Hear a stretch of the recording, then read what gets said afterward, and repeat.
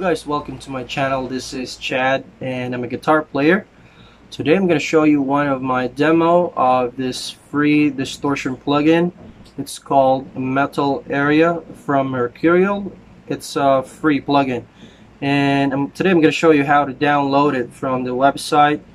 Uh, put it in your DAW, uh, use the plugin, and we're going to check the plugin. So let's start. Alright, first I'm gonna show you how to download the plugin. So, before mag-start ka ng mga pasensya daan nga may madunggan mo nagmamurag uh, static sa background. Kuha na tungudan sa akong computer. Hinay kayo. For quad-core ito niya akong computer guys. 4 GB RAM. So, pasensya eh. Uh, if na mo sponsor, kahit sa iyo, nindot ka.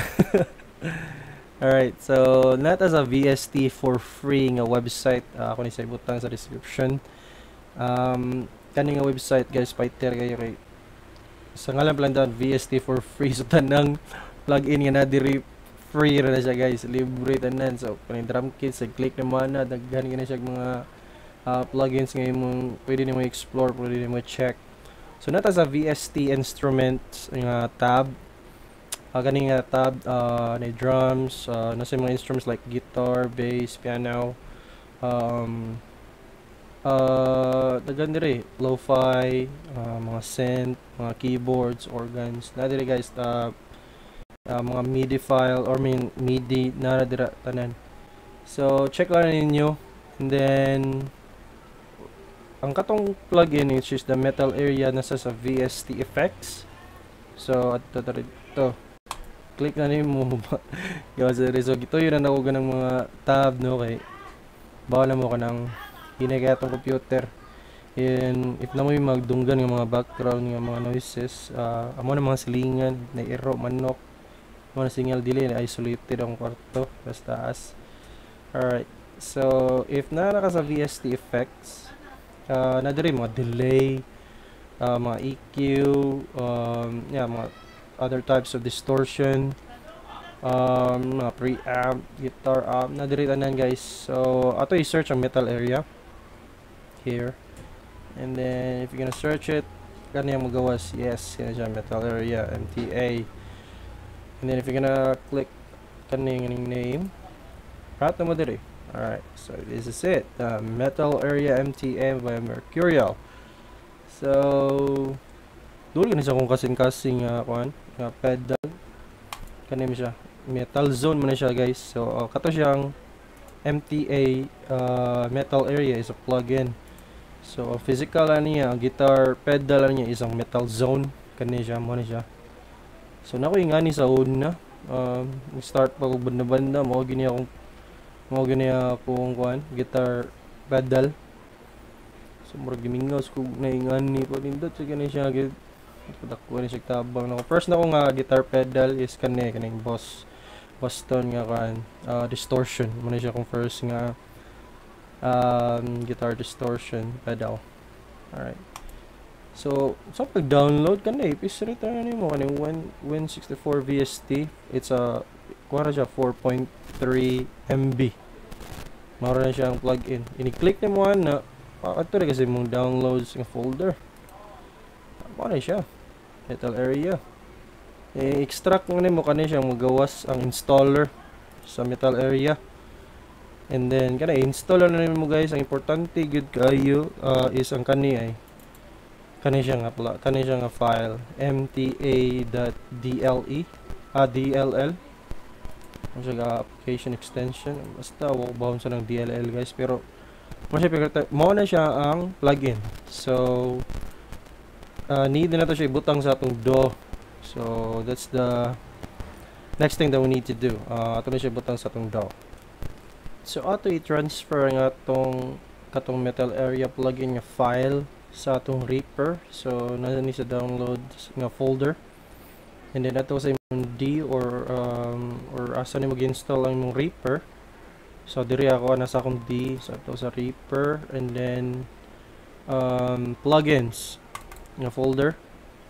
Then once you're in the plugins folder, it's FX. Uh, meaning to say it's effects. And then, yeah, diri nga folder sa effects, pwede naman siya i-paste. Uh, kato siya nga, kani siya nga file. uh, MTA the DLL uh, awang uh, same I mean sa muna siya mga uh, stock plugin sa Reaper. Uh, ang ilang type of file is DLL pod. So either pwede siya mag-create og like another folder. And then or katong folder itself kani siya nga folder pwede sa ninyo i-paste dire kani nga effects nga folder sa Reaper. Alright. So if what was imong uh, yeah this is my DAW it's uh, I'm using Reaper. Once i-open mo yung Reaper na ang Reaper actually mo automatic na siya mo scan sa mga new plugins na imong ibutang sa uh, Reaper nga folder. So mean to say if mo to kasi effects uh, if pull up ka mong effects and then uh, mag-add ka like for example kani so nana to diri. Nana to siya diri ang MTA so na diri ako ah. Alright? So mo na siya ang MTA so this is how you um imo pull up ang MTA nga plugin. So kani siya. So to make our life easier I already naghimra ko griff and then ato lang play and then ato siyang i-check uh, ang mga knobs on say sound aning uh, plugin right? So siya 6 knobs uh, level distortion high low mid uh, siya mid frequency around 200 to 5k so sige play na to para madunggan nyo ba? And then okay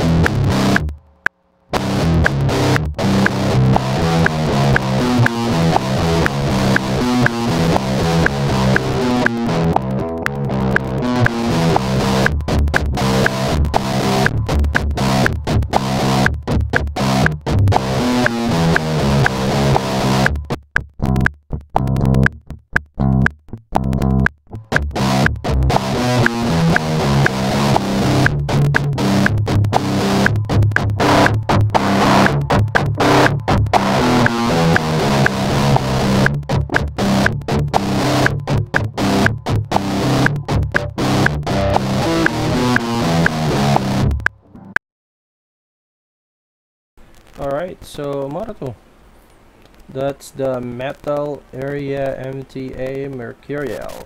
So, nga tong sound niya.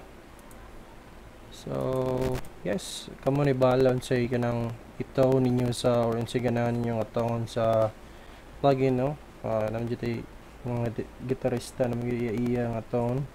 So, kamo adjust kamo uh, level sa inyong ganahan.